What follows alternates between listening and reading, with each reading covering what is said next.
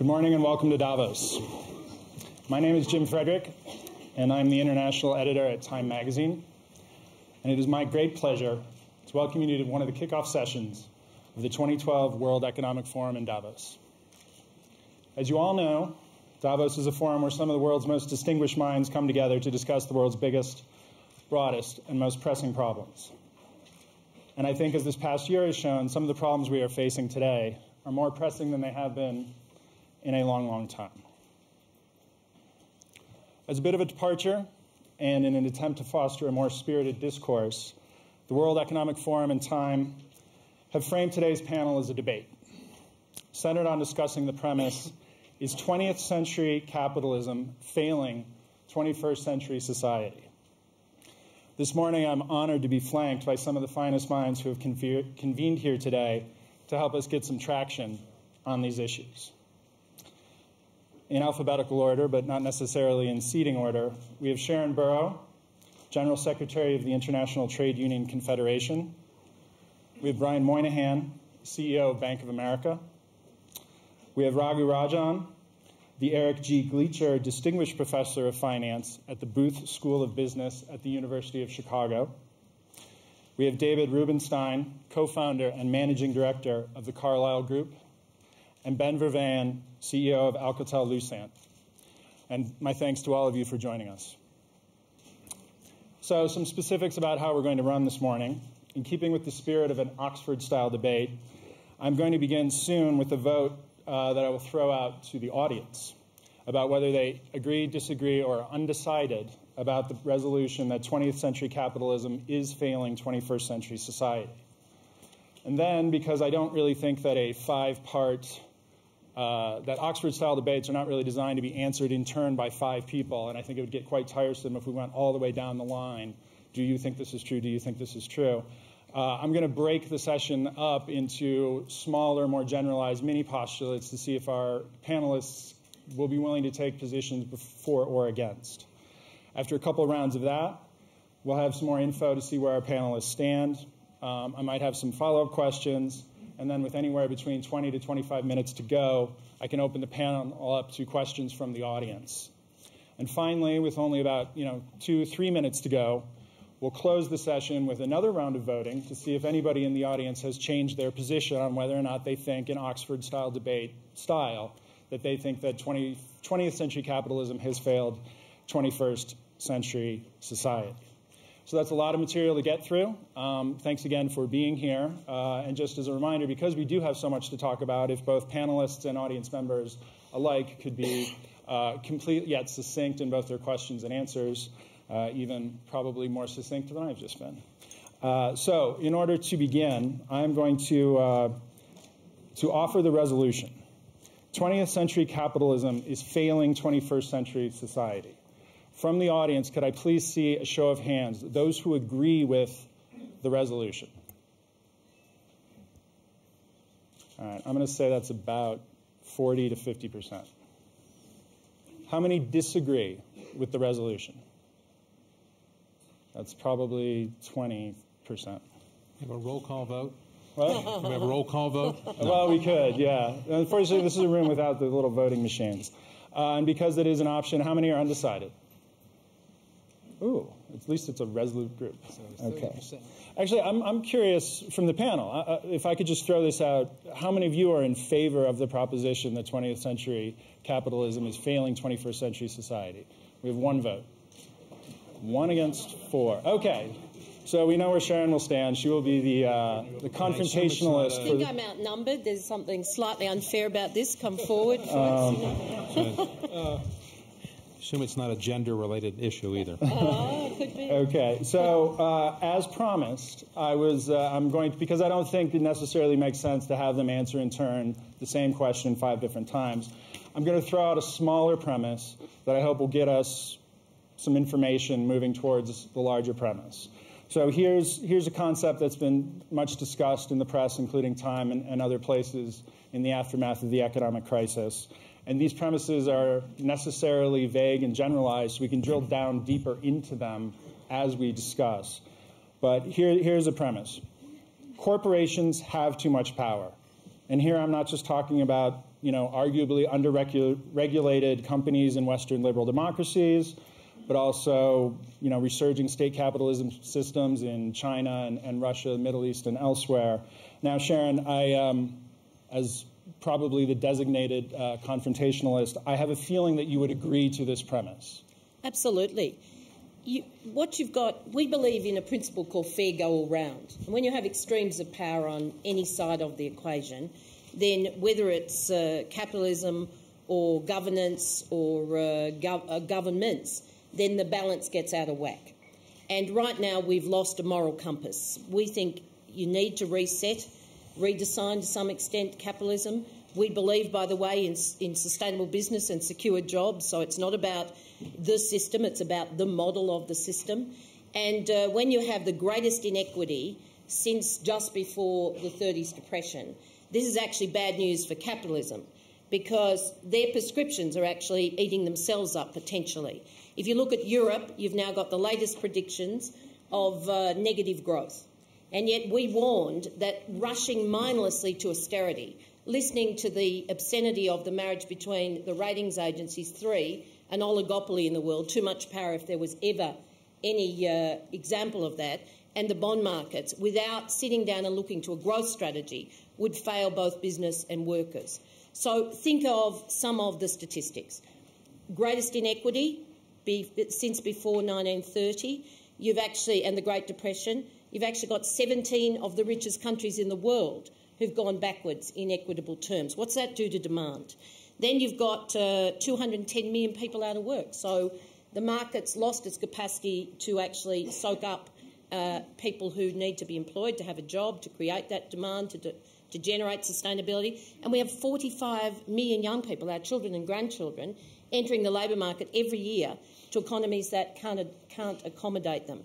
So, you know, I could go on. I mean, there's a, the, the greed. We must redesign uh, the model, but we must reset it.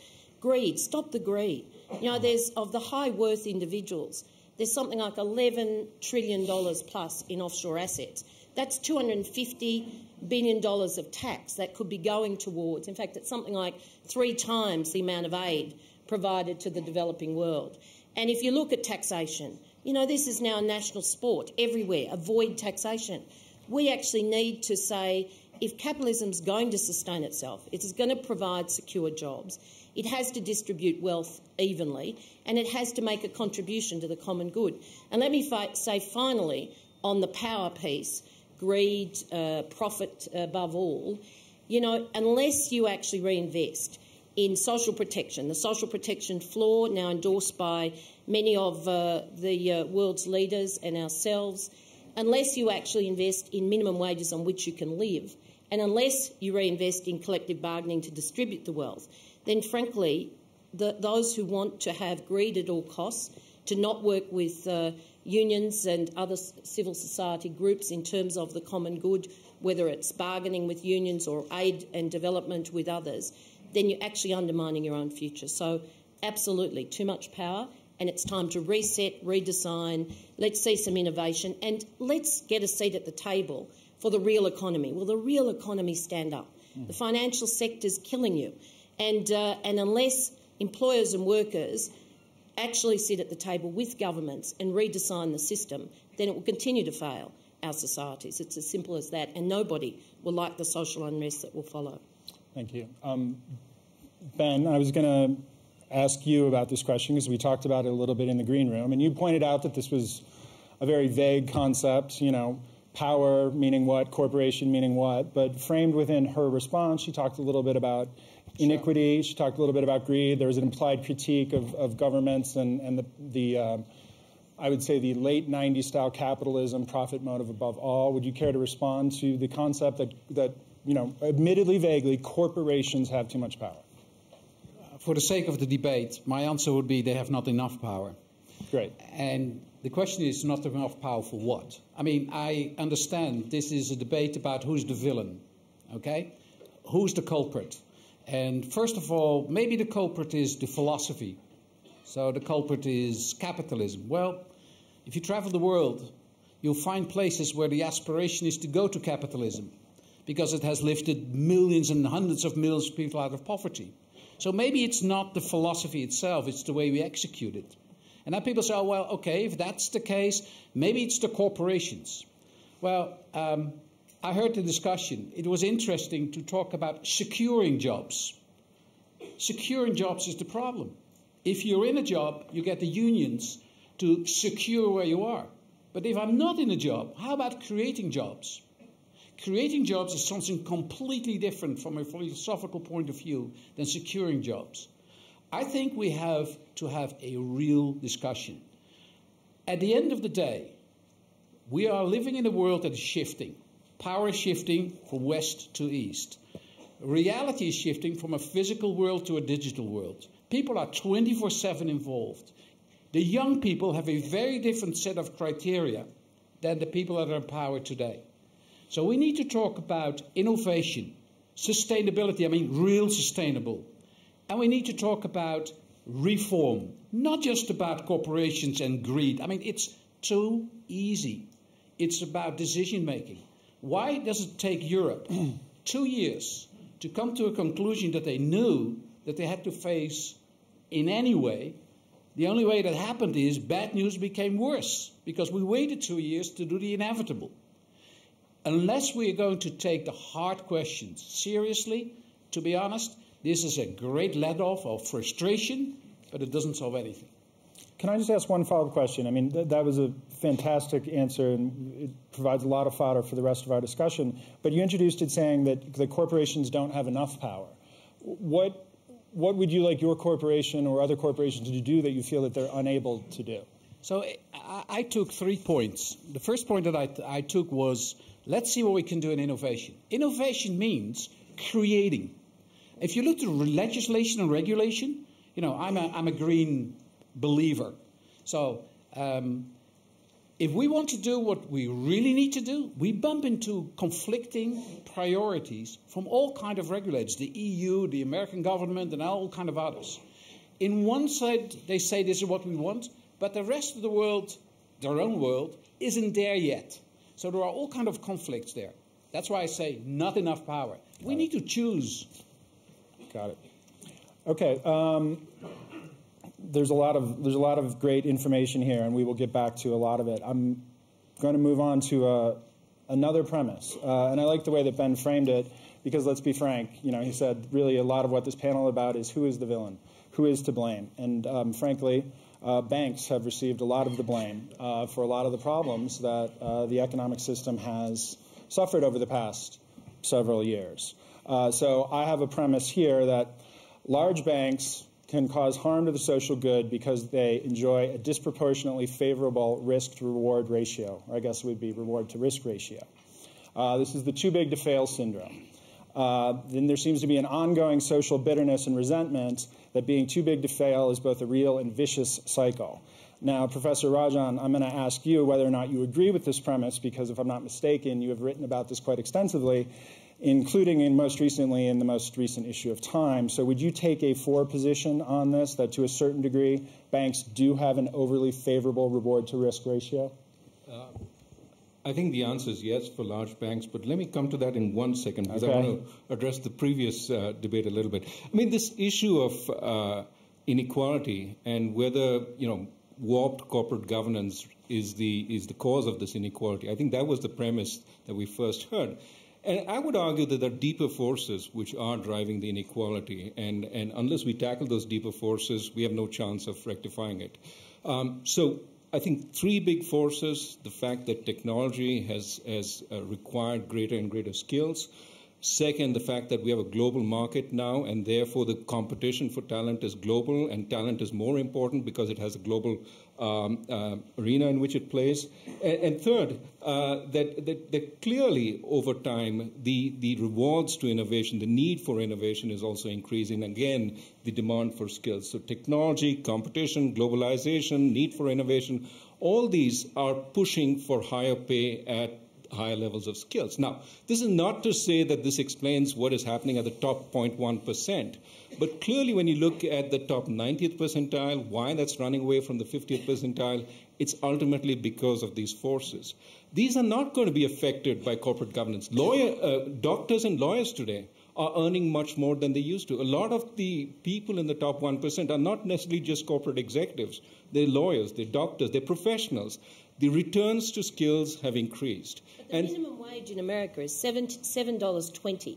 That's lower in real terms than in 1969. How can those people buy your product? That is a different question. The question is whether the skills are being rewarded justly or whether this is a complete failure of corporate governance. I don't think it's a failure of corporate governance by and large. Not to say there aren't egregious instances where corporations overpay their executives. Those are problematic. But I don't think by and large you can explain the rise in wages of the uh, upper levels of the population simply by uh, you know, bad corporate governance. Now to the question that you asked me a minute on that. Uh, clearly, large banks have had an advantage. Uh, they are too big to fail. They are too complicated to fail. That is not to say immediately that the answer is to break them down. Uh, you may replace too big to fail by too many to fail. And we have seen instances, certainly during the Great Depression in the United States. The big question was why do we have so many small banks? Because they're fa- failing like flies.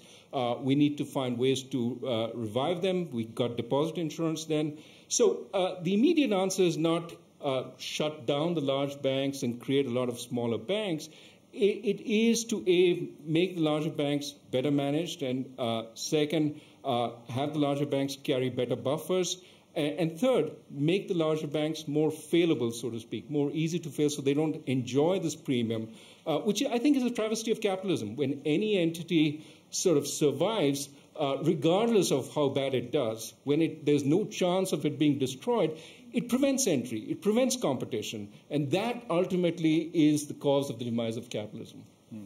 Okay. Um, now, Brian, I think that you might be interested in taking the opposite side of whether or not uh, banks enjoy a disproportionate reward to risk ratio.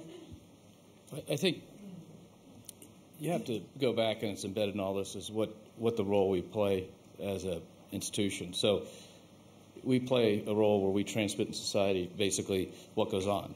We, we reflect economies of whatever country a bank is in, by and large. And so when capital markets are going strong, you'll see capital markets activity heat up. When consumers are borrowing, you'll see that heat up. And so we do that for everybody here. I mean, we literally, clients of uh, uh, like Alcatel or clients like the university it works for, and clients like unions. Um, you know, in our relationships with the unions around the world, we do things like uh, uh credit cards where they receive uh, revenue from that stream to help uh, uh, promote and provide what they can do. So we reflect the economy. So our, the quote power that we have or the size that we have comes from the size of the economies.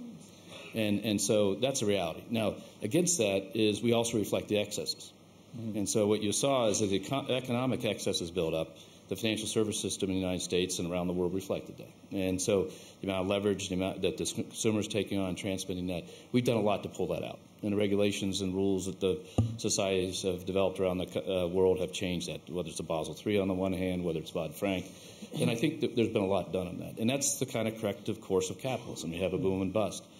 But I, I think the idea that we enjoy – some sort of special thing. We also pay you know, a lot of, of, special things, so the FDIC insurance in the United States is paid for by the system, and the cost of that is largely in smaller bank failures today. But that's the reality of what goes on, and, and, and we're fine with that.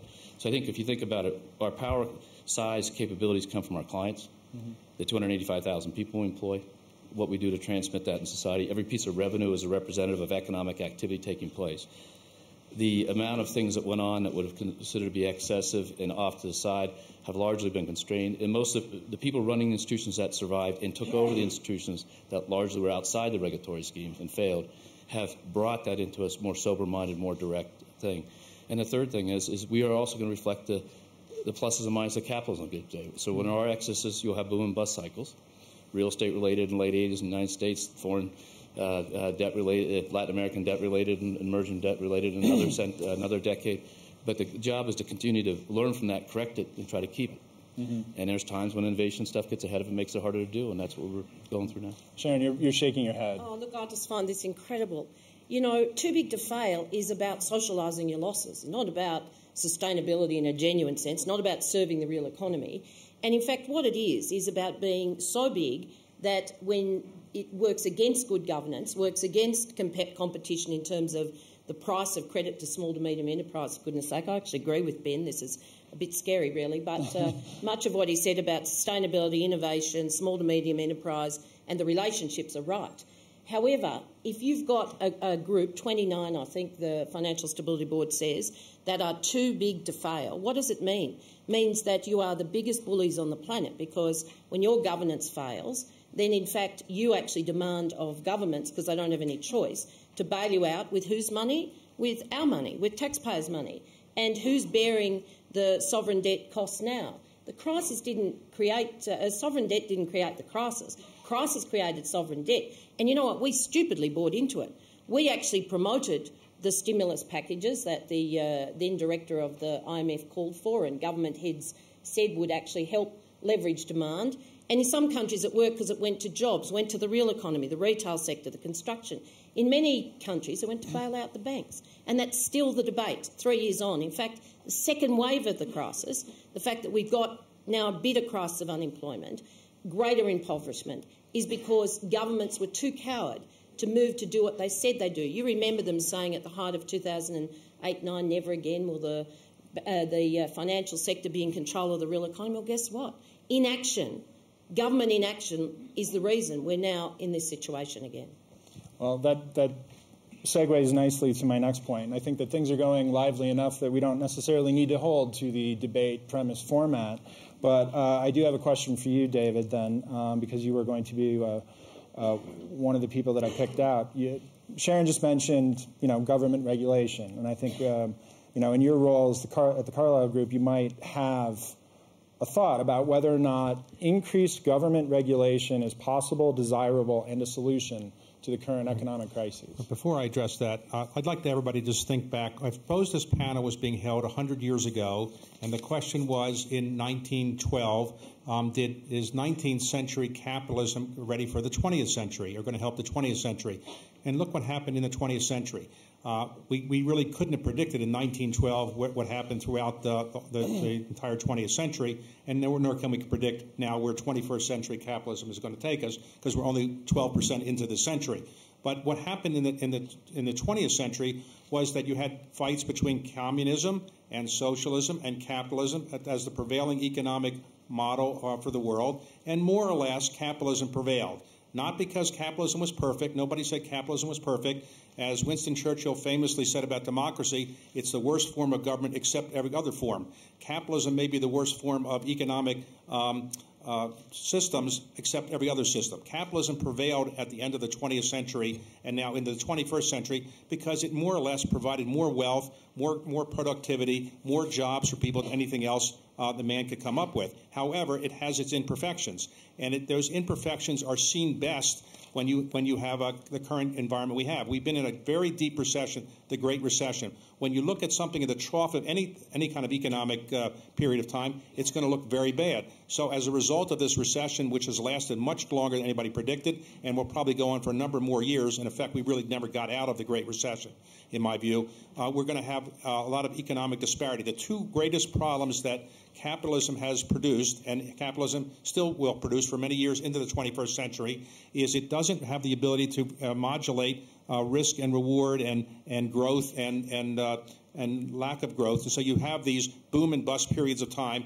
For a while in the latter part of the 20th century, we thought we were so smart that we eliminated the economic cycle. We haven't really done that. So we still have to deal with the economic problems of boom and bust, and we're seeing the problems of the bust right now still affecting many of the people that you're worried about. Many of these people are really hurting, and this is one of the problems that capitalism uh, produces. Secondly, we have the problem that um, uh, disparity, economic disparity, is very, very bad in many parts of the world, and capitalism has not solved that problem. Capitalism has many great virtues, and many people are wealthier than they ever were before, but we haven't solved the economic disparity problem. The question is, how do we deal with it? How do we eliminate the economic boom and bust cycle in capitalism, and how do we um, eliminate the economic disparity? Obviously, nobody in this panel has this answer, and nobody in the world seems to have this answer. The question is, how can we work through this problem? And my view is that government is supposed to be the leader. Uh, we, we, we elect people to be our leaders because, and, and government because they are the ones who are supposedly the ones who have the ideas and want to lead us. And I think what we'd like much more in the business community is leadership from the government officials that we elect. in the West, we have seen a lot of um, uh, inability to provide leadership during this recession, and I think that is one of the problems that has uh, created the continued um, uh, economic disparity and the continued uh, growth of the uh, or the lack of our ability to get out of this uh, recession. I wish we had more economic leadership in terms of regulation. Um, everybody thinks they're overregulated. I've never met anybody who says, please regulate me more. I need more regulation. I, I, need your help. Nobody ever says that. Nobody ever says, tax me more. I want more taxes, with the possible exception of Warren Buffett. Nobody ever says, tax me more. And nobody ever says, regulate me more. So I don't think that I want to be more regulated. Uh, my concern is that whenever there is an economic problem, uh, in the United States, we had Enron, we had a recession. What we do afterwards, at least in the United States, is we regulate and we pass legislation. We pass Dodd-Frank, which is 2,300 pages, the regulations for which have not been issued. The Volcker Rule, with the most famous part, perhaps, of the Dodd-Frank, hasn't, hasn't had any regulations that are finalized like yet.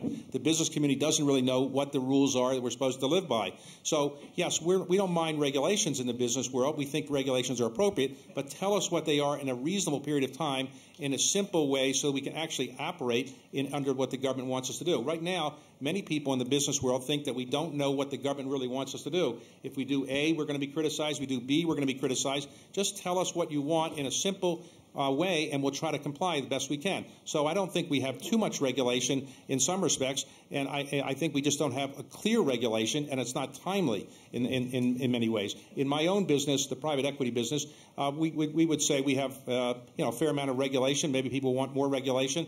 Um, I think in the banking world, there's no doubt a lot of regulation, but uh, I, I think the principal problem we have now is the lack of clarity on what the regulation really is, and getting this regulation done in a, in a timely manner frustrates the business community more than anything else I know. It's not the fact that regulation is going to occur. Great. Private equity could do two things without any more regulation.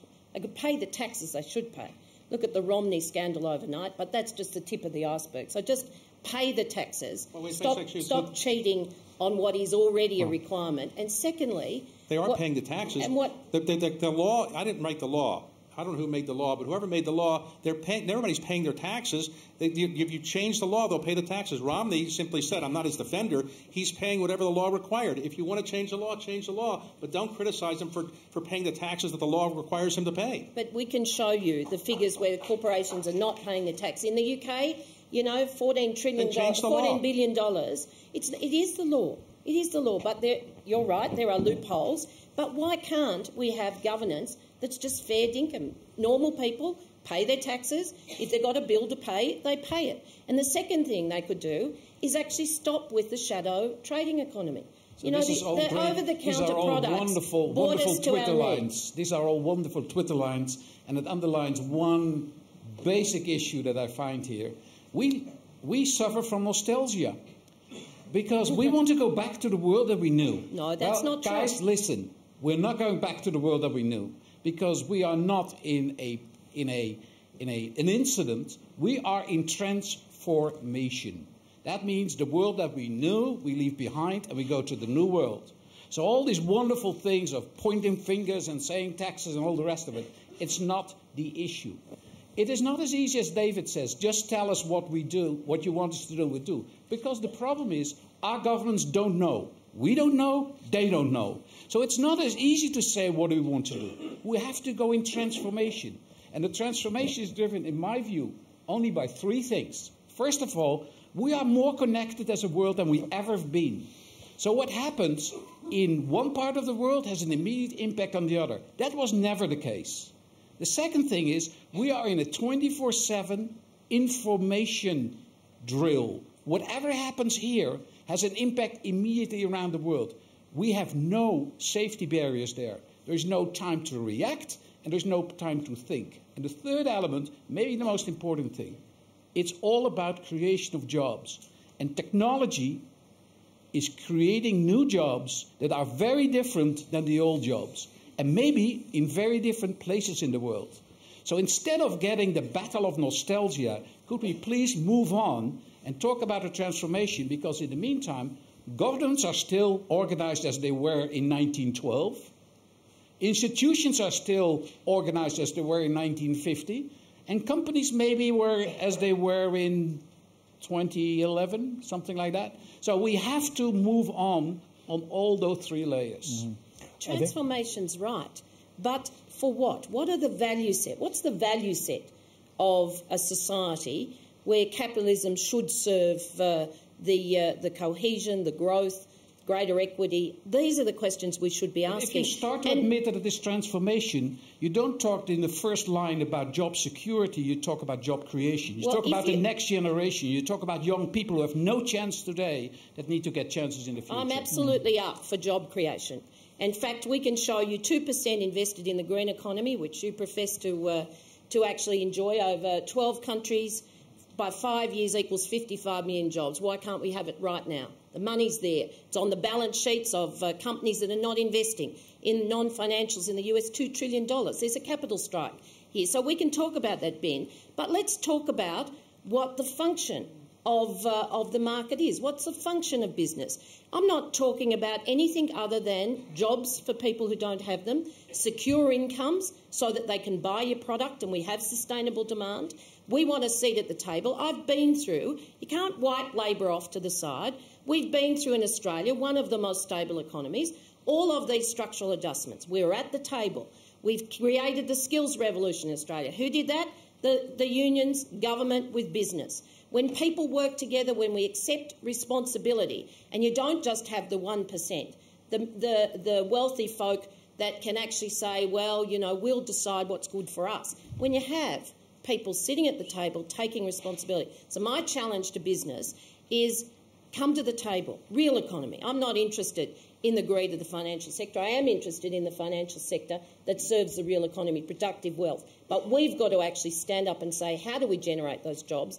How can we provide secure incomes? How can we sustain demand? And by the way, how can we move, Ben, to a low carbon future? Um, well, business must have come together in Australia, I assume, to do what you wanted, right? They must have come together, and you, you're happy with what happened. Is that right? Well, I can tell you the vulnerabilities of the two-speed economy in Australia, but what I'm pointing to is people, when people work together, you have a solution. When people work in the interests of their own greed, their own direction, when there is too much power in any one part of the spectrum, government, workers, or indeed uh, representative right. labour, or business, the, the, the world gets out of whack. And right now it's out of whack because business, particularly the financial sector, has lost its moral compass. Well, in Australia, the business community, I guess, came together with the labor community, and you're reasonably happy with it. So the business community couldn't have lost its moral compass in Australia. Presumably, um, the model of Australia may be a very good one. Maybe other people should take a look at it. So the business community is not losing, I don't think it's lost its moral compass. I think the business community wants to create jobs. The business community wants to create jobs and create wealth. The more jobs they create, the greater wealth they're going to create. The, their shareholders are happier, executives are happier. So they're not exactly sitting there saying, how can we uh, reduce jobs and reduce wealth? We want to make sure that the system doesn't work. Business people want to make the system work. Now, it's not easy to do. Maybe the Australian model is, is one we should look at, but it's not that business people are sitting in their, in their, in their boardrooms saying, how can we uh, find our moral compass. We don't really have a moral compass. We're against creating jobs. We're against making sure workers have enough to live on. They don't want to do that. They, they are, want everybody they to be happy. Pro short-termism. If I, well, short-termism won't Well, short-termism is not something that business community invented for sure. There's no doubt there can be improvement, but the Australian model is perhaps something that business community should look at. Okay, if I this is great stuff, and clearly we're having a debate. So this is this is this is fantastic. If I could just back, absolutely no, this is this is great because um, you know these are clearly hot button issues, and these are some of the things that this entire um, you know meeting is going to be talking about for the next four to five days. If I could just back up a little bit and summarize for some of the things from my standpoint that I think that we've been talking about. Um, some of the keywords that keep coming up again and again are in, inequality and, and prosperity and disparity. Uh, innovation, globalization, a shift of power from east, I'm sorry, from west to east, uh, i regret the fact that we don't have a representative from a major governmental power to talk about the role of government here. But I also think that the, you know, either the role of government or the lack of uh, clarity from government are interesting concepts. But I think it does keep coming back to this entire discussion keeps coming back to jobs, job creation versus uh, job stability in what sounds like developing versus already developed countries, and uh, anxiety, especially in the Western world, about um, income inequalities when in fact jobs are moving to uh, developing economies rather nicely, it would seem like. Um, you know, Professor Rajan, do you, do you want to chime in on anything having to do with, with some of the summarizations or what you, you've heard here so far? Sure. Um, thanks for giving me the chance to speak. um, uh, I, I, think what we, we have to step backwards. I think nostalgia is a bad thing, but it, it you know the past does affect where we are. Uh, where are we? Why are we in this situation? In some sense, because growth has failed us relative to the promises we made. Governments made a ton of promises in the 60s when growth was very high. They, you know, we had the welfare state uh, across the industrial world. And then growth started falling off in the 70s, in the 80s. Uh, some countries, the UK, the US, tried to revive it through deregulation and managed for a while. But in general, the real issue is our growth is too slow in, in the industrial world relative to, to, the promises we have made. Therefore, just saying that the government should go out and spend and create new jobs is not the answer. We have to revitalize growth. That is the long term answer. How do we do that? Two essential ingredient, eh, ingredients. One, we need more innovation, more productivity growth in the industrial world. That means giving entrepreneurs the right to go out and innovate, to create new companies and so on. We have to make sure we don't destroy that environment. That's very important. Otherwise, we'll be stuck in a negative spiral in these countries. The second thing is we have to improve the capabilities of the workforce. And I think that's very important for the kinds of jobs that will be created when we have this innovation. There, I think a partnership between government, industry, and labor is extremely important. This is something that we've neglected for a, uh, for a fair amount of time, especially in the United States, where the capabilities are falling behind uh, tremendously. But my sense is if you put these two together, you have a chance of leveling up reducing inequality by leveling up, which I think is the way we want to go, rather than reducing inequality by leveling down, which I think would be detrimental to longer term growth. The final thing I would, I would like to say here is that even though you have inequality rising in industrial countries, as you pointed out, one of the reasons for this is because some of the emerging markets are, in fact, rising in wealth, and therefore, globally, some of this is having an effect in reducing inequality rather than increasing. But that is not to say one shouldn't feel for the worker in industrial countries who is now seeing uh, wages not rise. But I think the answer to that is improved capabilities. Longer term answer, it's not a short term answer, but it's the most sustainable answer. Yeah, Brian, do you have um, either something to add or elaborate on that, or what, where Bank of America can fit in in that well, equation? I, look, just going more broad, I mean, we have thousands and thousands of corporate companies and corporations, so we get a pretty good insight of how they're thinking. But I think one of the fundamental things is, first of all, I disagree with the premise that we've, we've lost our moral compass, but that's uh, a different thing. But I think the fundamental thing we're dealing with is is most of the ways, and I think it's embedded in some of the dialogue earlier, that we define systems as country by country. The reality is, uh, even relatively mid-sized companies are now global citizens. And so the shift in demand is actually the difference in the cycle we're in now versus other cycles. So uh, take a classic American company who would quote offshore workers and all the things that people would talk about. The difference now is the actual demand they're filling is outside the country. Mm-hmm. So the the way we define the success of capitalism or not is usually country by country by how they've applied it. Whereas the reality is the participants are not no longer single country citizens at all. And that's a relatively modest sized companies are involved in the global chain not only from where they get the products, which is traditional, mm-hmm. but where they sell their products. That then changes the scheme. So, so when you talk about a moral compass of creating jobs, is it is it great to create jobs? You're creating jobs all over the world, and as, and so the difference between creating jobs in country A, who the people in country A may feel good or bad about, versus country B, same thing. The issue is, is from a company's perspective, they're trying to grow. They're trying to fill the demand where the demand exists. They're trying to drive that growth. They're trying to innovate into that growth. And that then leads to this problem that in some of the societies that where where they're suffering the types of things the professor talked about, the reality is they're filling the same demand that they used to fill. It's just over here, and that's going to be tough for us to deal with in the more developed societies. But that's this, this is interesting that's because not it, the debate, though.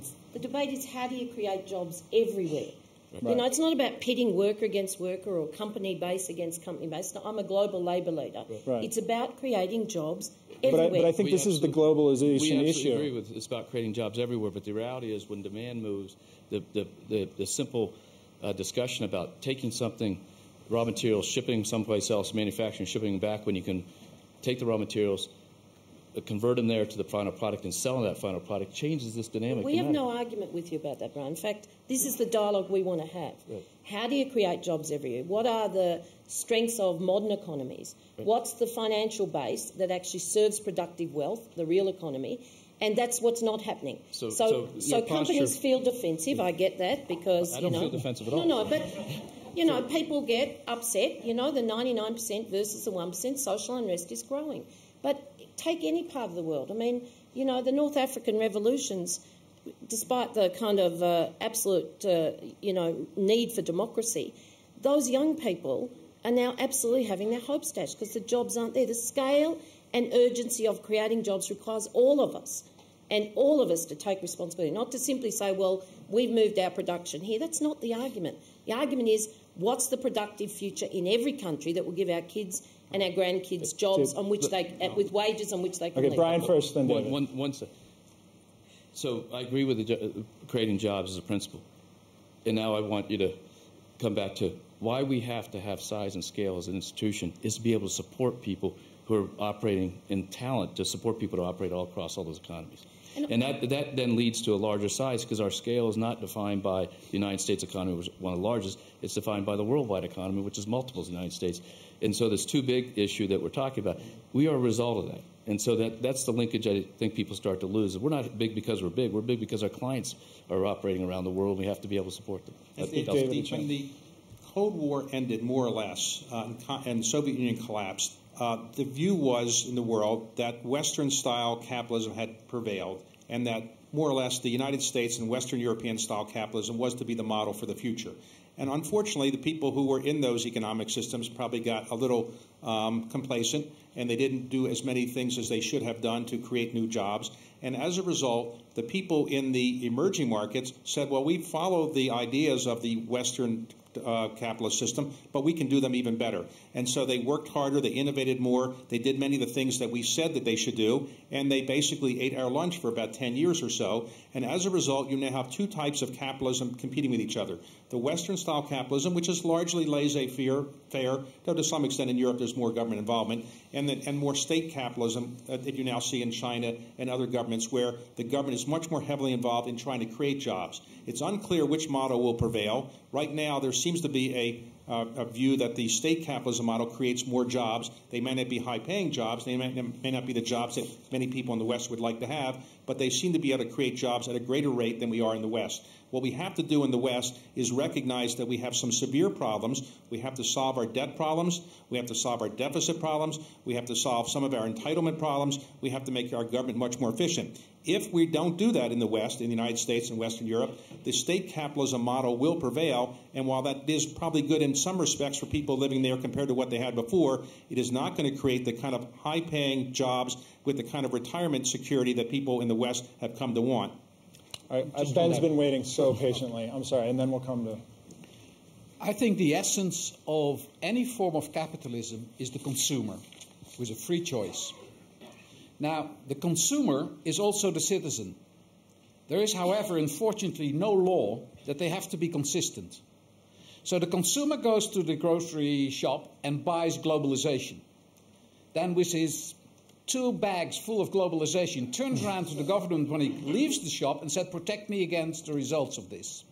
And that's their right to do that. Mm-hmm. Because as a, as a citizen, you have different emotions than as a consumer. But at the heart of everything we do is a buying consumer with a choice.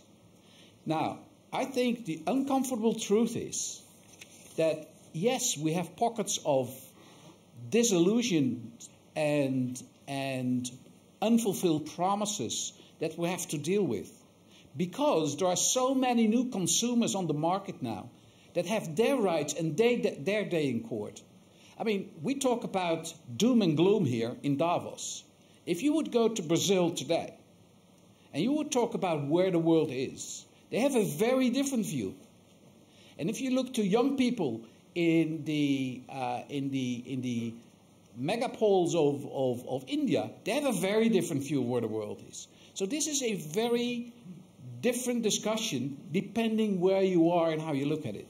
And on globalization, I think the real uncomfortable truth is is that we think that we take decisions on a national level.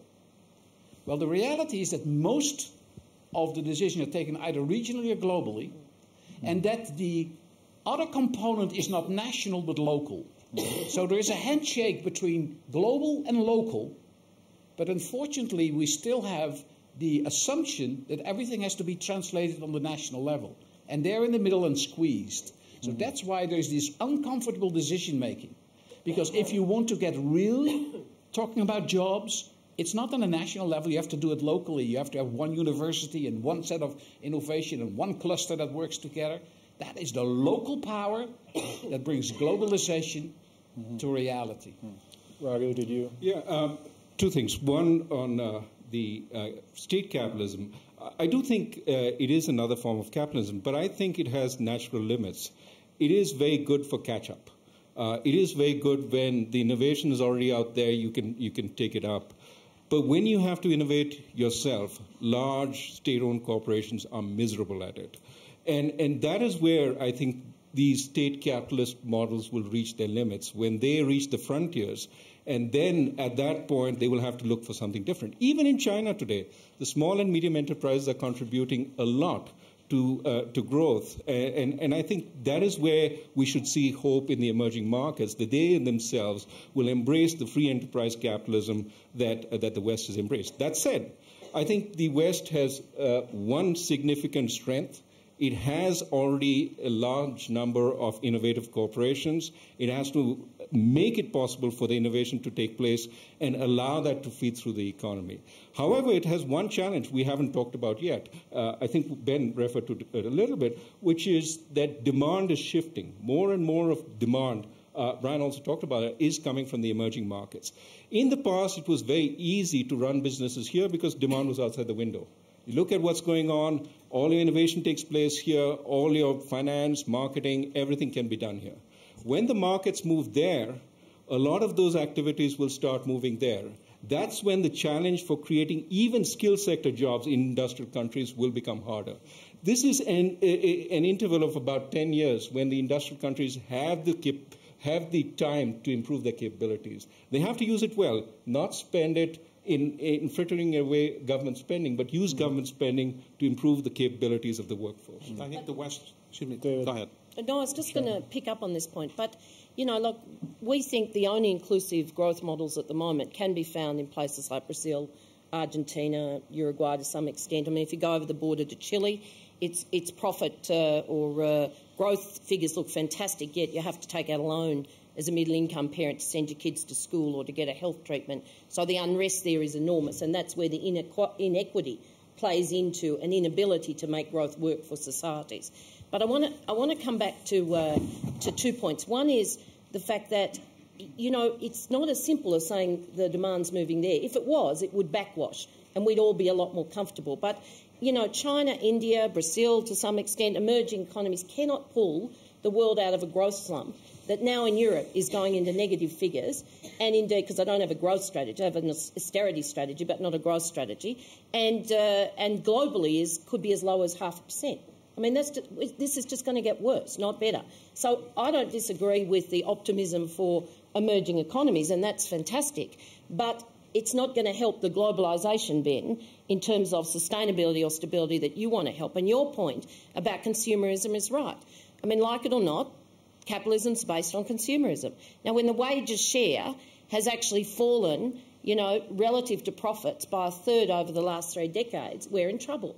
You know, when the US president wants to raise the minimum wage in America, one of the biggest countries in the world, to $9.50, and corporations and indeed the Republicans are fighting him, it would do more for demand overnight in the US than almost anything else. If you had a minimum wage on which people can live in every nation and a social protection floor, you secure a basis of demand, and then, of course, you know, bargaining for distribution and so on based on collective uh, uh, and productive wealth over and above that, fantastic. But the American corporate model is doing two things.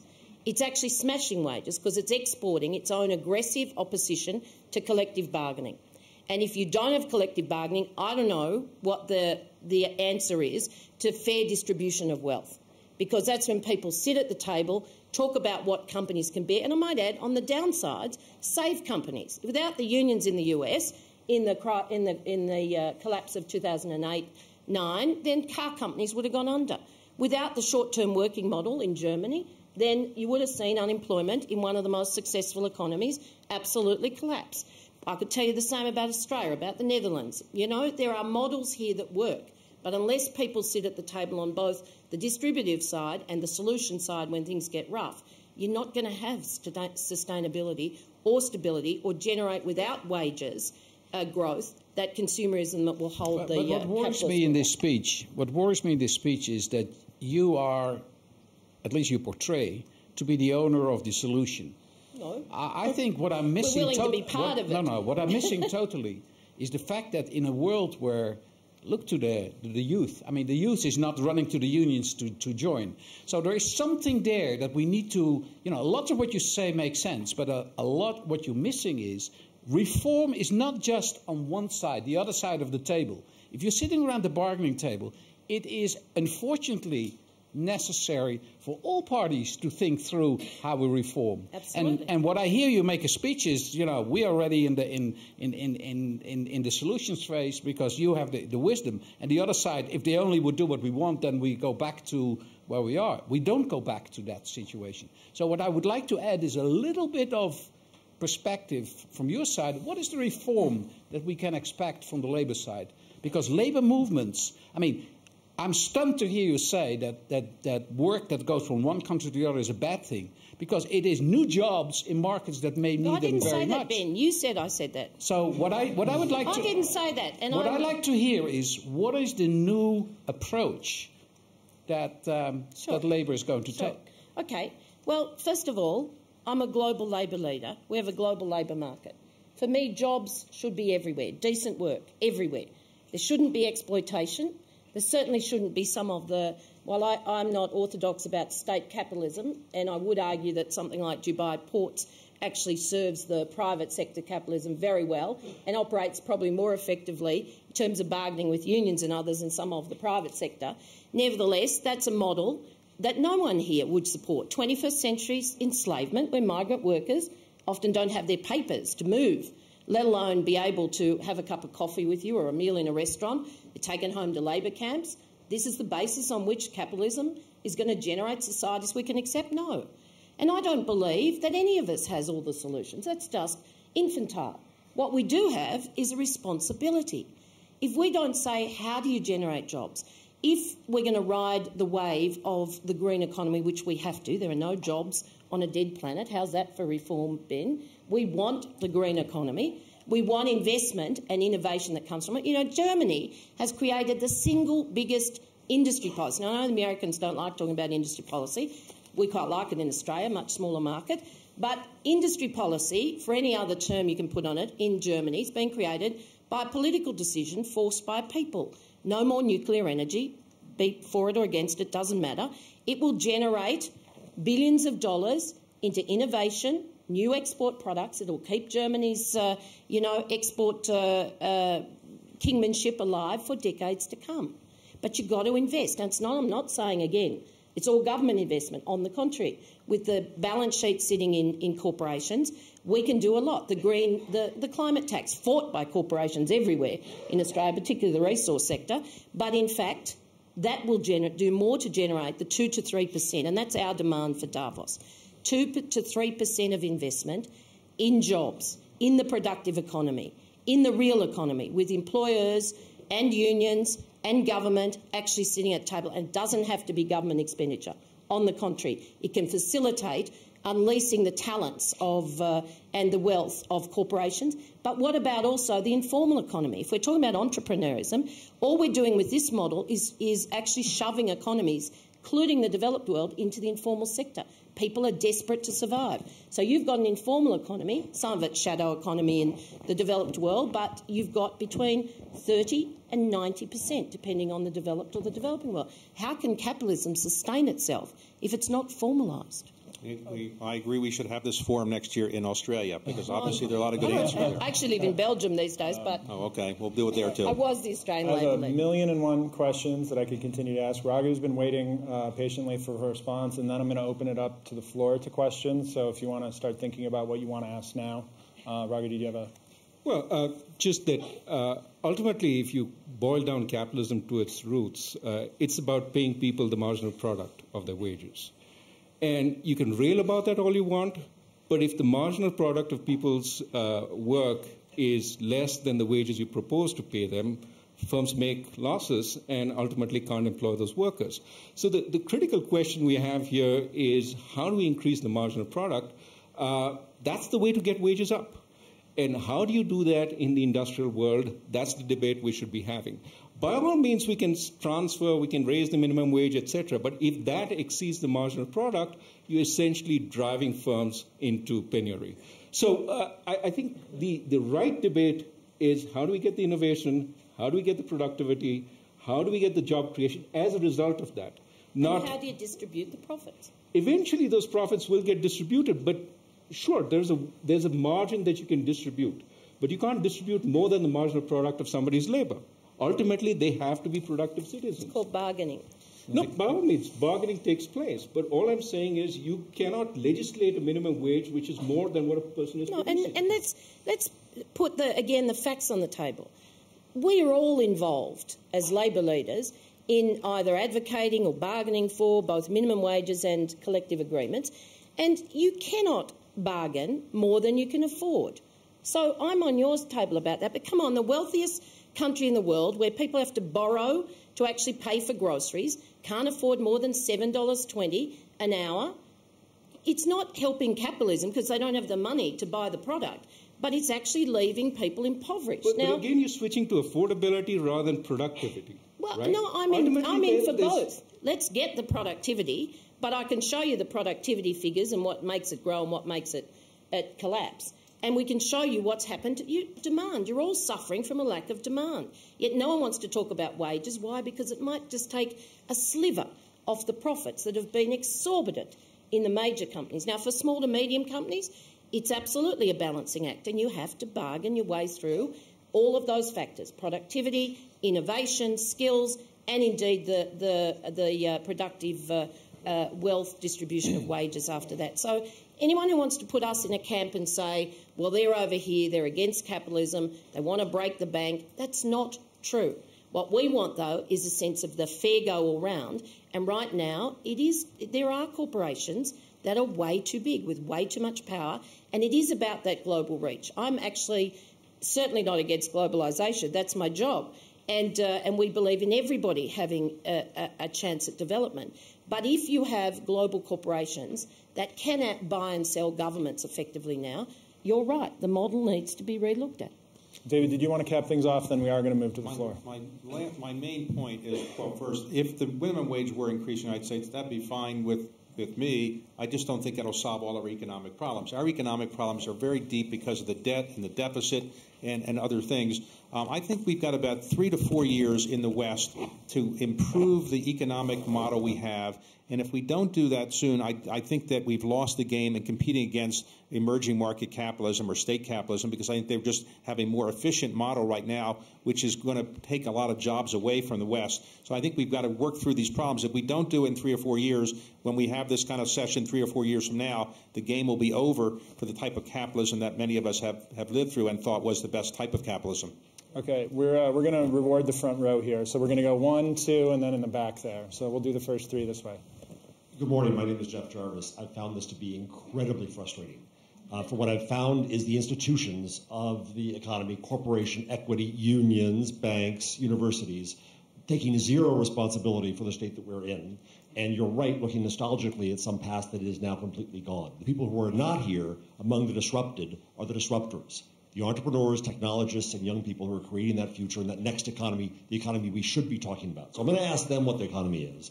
And I'd like to compare that with what you think the future economy is, because I haven't heard a single thing today, not only about responsibility for the past or vision for the future, somewhat from you, Mr. Mahon, but otherwise I've heard no vision, just a lot of nostalgic debate by the old institutions that frankly deserve to be disrupted.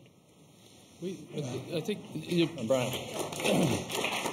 we spend uh, just just. It's very difficult in an hour and a half or hour and 15 minutes with five people to give through uh, give somebody the complete view of how the world is going to change in the future and how we can make the world better. Um, so I apologize that we didn't make it more interesting, but um, you know, next year you can be on the panel and I can sit there and I can tell you that I'd like to hear different answers. It's not that easy to uh, encapsulate all of the world's wisdom in an hour and 15 minutes, but you do make some very good points. Um, clearly, many of the people who are changing the world are not on this panel. Uh, many of the, the people are young people, and the, many of the people who lead the social networking revolution are not on this panel. Clearly, over the next five or ten years, the social networkers, the people who are communicating with each other through that mechanism, and the disruptors are going to be the people that change the world. What we've learned over the last hundred years or so is you're never able to predict who is going to make these changes and how the disruption is going to occur. People in our large kind of organizations we are are not generally the disruptors. The disruptors are people who are entrepreneurs, small organizations that we haven't heard of today. So to, five years from today, none of us probably would be invited back, and different people will be up here because we will have been disrupted out of our positions. So, we don't have five years to, be, to not be asked back. But there's, there's two things. First of all, all those people that you want to talk to are here in Davos. So, I mean, it's not that the WEF hasn't organized for it. You have the 20 year olds, you have the 30 year olds, you have the new entrepreneurs. Second, I mean, your last sentence was a great sentence listening to the applause, but you, I would think twice before you get what you wished for. Because disruption is great, but by you said destroy what we have, I'm not so sure that you will live with the consequences. But you know, be my guest. But he didn't say destruction, he said disruption. And I think that's right. I think that is a really valid debate. It wasn't the one we were posed with, but I actually think it's a really valid debate. How do institutions evolve, reset, redesign themselves for a 21st century that will be very different? I mean, if we don't, if we don't see the political courage to tackle the climate challenge, then you know this is all pretty irrelevant for our kids and grandkids. Frankly, they're pretty frustrated with us. So, if we don't see the the capacity to do something genuinely about people to lift them out of poverty so we end civil wars, then the disruption to the old institutions will happen anyway.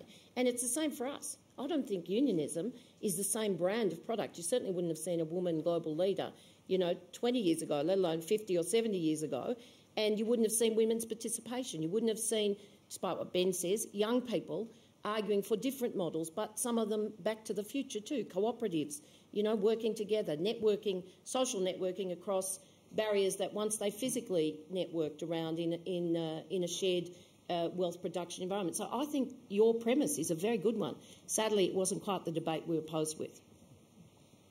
Anyone else? Uh, so we, oh, okay, go ahead. I mean, uh, I, I, think there is a very real problem for the young today, and I, I think you can see it across countries. 40% uh, unemployment in Spain, uh, 45 in Greece, uh, largely concentrated amongst the youth. And, and I think the point you raise about the future being important, about uh, visualizing it in a way that these people have a chance, I think that is the central question, the central threat to some extent to the capitalist system. If you don't draw people along, they are going to disrupt it, they are going to fight it, uh, not in the innovative way you're talking about but in just overthrowing the institutions and, and perhaps trying to get a new, new set, who knows what that might be. So I think it's extremely important we solve these problems.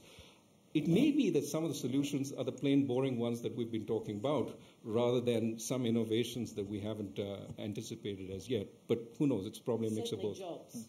Brian, you want to make it five for five, or are you good where it stands? Uh, I, inside large organizations, disruption goes on every day. So at the one hand, we have branches. The other hand, we have 9 million mobile banking customers. And the people who fund that help fund all that entrepreneurial society out there, but also do it inside. So one of the challenges running large organizations is how do you refresh and do that? And that really goes down, down to the question of talented people and treat them well and give them the spirit. So we have people who look like what you're posturing, and we have people who look like me, and everything in between. And our job is to hustle that both internally and externally, for the benefit of our customers. And so I think these premises that get thrown out, large companies aren't innovative. The premises that get thrown out that, you know, that uh, the, the, big companies are, we got to think that through, and that's the thing we need to think about because the largeness is here and, and inevitable because economies are globalizing. The question is, how do we make the jobs? How do we make the fairness? How do we make the things? Second point is, you've heard me say it before here. You hear me say, the people who run the institutions that you don't think take both very seriously the issues in the past, we absolutely do.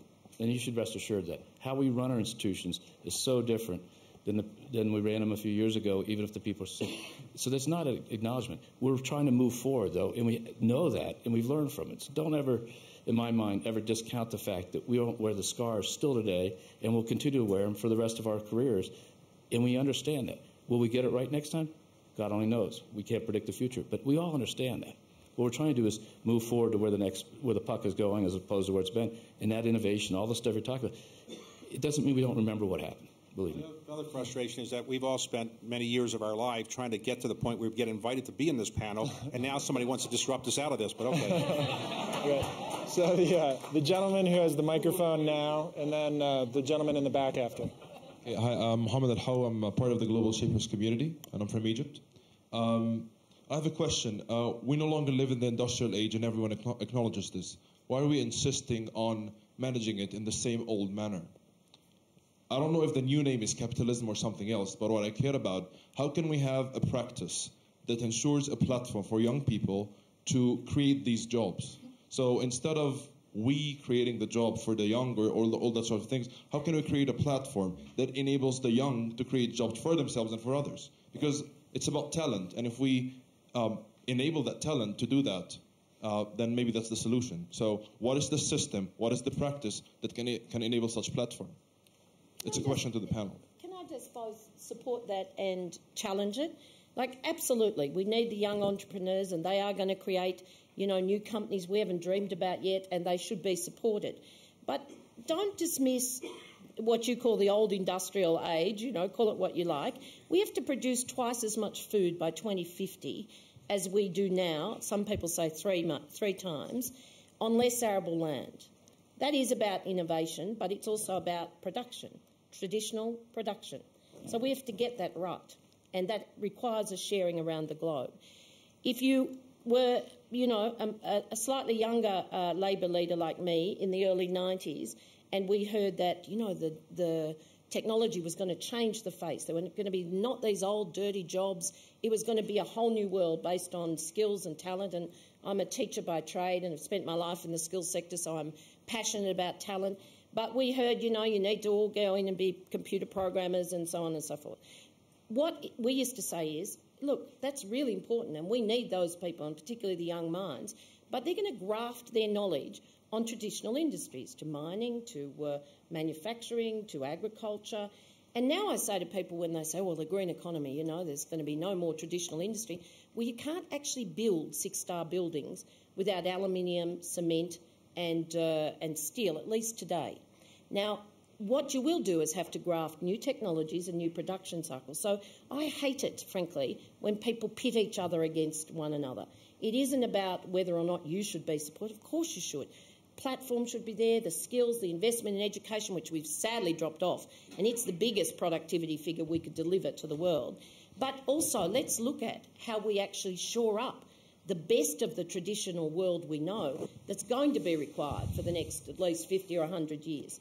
And, uh, and where does the innovation replace that? You know, manufacturing always amazes me. People say, oh, you know, dirty manufacturing's dead. Well, to some extent it is.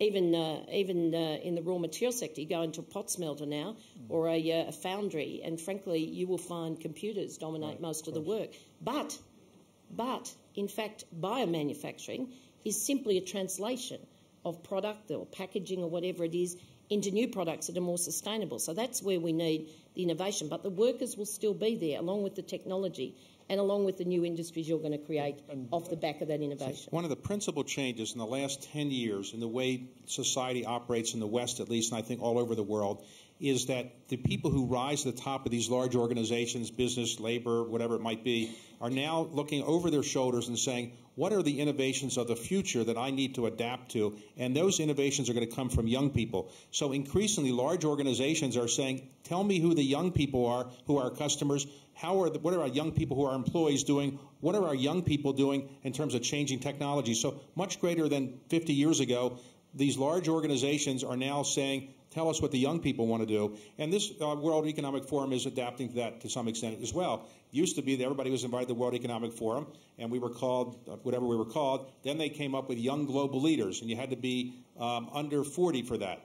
Now they have a new thing called new shakers, which are people under 30. And probably next year they'll have something under 20. Um, and people like us are the old shakers, I think, because we you know, are not that uh, robust anymore. But clearly the World Economic Forum, I think, recognizes this. And I think all corporations and unions and other organizations recognize that change is coming from people who are your age. And we are much more focused on your thoughts than we ever were. Uh, ben, did you have one capstone, and then we need to move on? We only so have about five I've more one, minutes. I have one line. Uh, you come from Egypt. Um, I think you don't have to wait for permission. and and there's one thing that that I think that is really the big change. In maybe in the past it was asking, give me the platform, give me the tools. Today it's just doing. Which is what the free enterprise system is about, right? You don't have to ask permission it creates competition, and you go out and build your enterprise and you compete with the big guys. The, the places where we have tremendous youth unemployment, Spain, Greece, are places where the free enterprise system is not working as it should. Too much, too many of the services are clogged up because the incumbents are protected. That's what, in some sense, we need to change to give the youth a chance. Do we have another question there in the back? And then we'll Joe, come over here. I'm Joe Schoendorf. I am a partner with Accel Partners in Silicon Valley. I've spent 45 years there, the last 25 in venture. Uh, I don't like to say that venture capitalists create jobs. We don't. We provide money and we provide mentoring and we make a bet, we pick somebody and we get behind them. Big issue has not been discussed up here. We're one of, you know, a couple of hundred venture firms. You go on our website today, accel.com, we probably have a hundred active companies that we have provided the funding and the mentoring for over the last three to five years. We post the jobs for all of those companies. I looked this morning, 1,577 jobs open, many of them paying six figures, most of them needing a degree of education and training that is in short supply in the United States.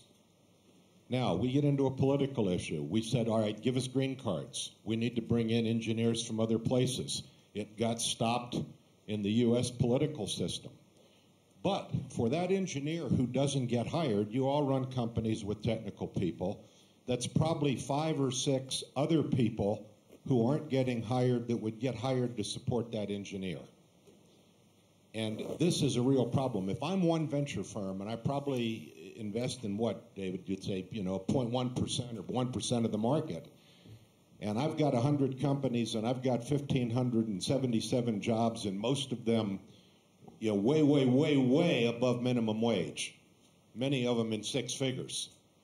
Uh, and, and, and we've got a problem where our government is basically preventing the creation of those jobs. And we've got a training issue. We've got a trillion dollars in U.S. debt for people who have paid for college educations, getting degrees where, one, they could be employed in this world if we had more engineers, or they should have gone out and tried to do something in the math and sciences.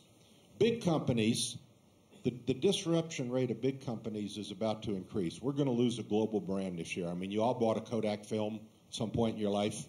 The story you may not know is Kodak invented the digital camera. 1975, 0.1 megapixel. They took it to the board. The board said, oh, good idea, but please don't tell anybody about this. So that's true. We did. We talked a lot about competitiveness, but we didn't really. Mean, we might have mentioned training, but we didn't use the word education. I don't think once. Well, that's a good point. Well, one of the scandals of the world and the undermining of productivity is the lack of investment in education yeah. and training. No question. And but I want to also say that the venture capital model that you just heard described is not all like that, but is absolutely important to think through. What do they do? They actually support someone and they mentor them and they get those startup companies to a point where they are self sustaining. That is really good work because they create jobs. You're right, most of them are good jobs, etc. And I want to say that for the labour movement, part of what we bring to the table is $25 trillion of workers' capital our pension funds, mm. and 14 trillion of them are co-managed by labor leaders and business leaders. And that is part of lifting the, the, the burden of, of uh, government debt and indeed, of course, of creating productive investment. If, if, we have more comments on this particular question, I am afraid this is probably where we're going to have to leave it. So I'm sorry we won't have time for any more questions, and once we cap this out, um, we're going to have to end the session. Uh, Joe, it was too nice to, to, he's in a quiet period, but uh, one of his companies they invested in was a company called, you would have heard of, uh, Facebook. I think you've heard of that. Just a small one. I'm sorry, Rory, on, on the issue of education, I mean, that's clearly something that's very important. But of course, there's education and there's education. There's some education which doesn't get you anything in the workforce, uh, doesn't get you any pay, and there's some education, science, technology, engineering, math, which is very uh, crucial uh, in the United States, very important, and, and uh, we need more of that. It's easier said than done. I think changing education has been on every president's agenda since Gerald Ford, and we haven't really made an impact. I think it is something that we have to take a very close look at. I think President Obama is looking at it, but it is something that there is a lot of resistance to change from within the education industry. I belong to that industry. Uh, we would like to do more. We should do more. Uh, and hopefully we can do more. But it is clearly, in, in many ways, the central problem that we face. You know, one of the points that has been raised recently that's of concern to me in, in Western uh, publications is that education is not a good thing. Increasingly, people are saying you don't need to get a college degree and you can do just as well without it. I think that is a very, very misleading thing, and if people believe that, they're going to be very disappointed.